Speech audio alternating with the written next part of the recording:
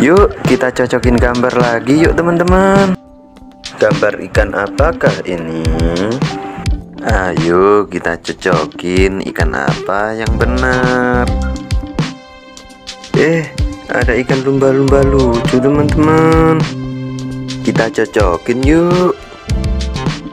Ya salah teman-teman. Yuk kita cari lagi teman-teman Eh ketemu ikan lagi. Ikan paus nih teman-teman. Besar.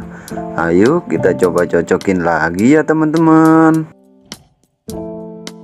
Ye hore benar. Ternyata ini gambar ikan paus teman-teman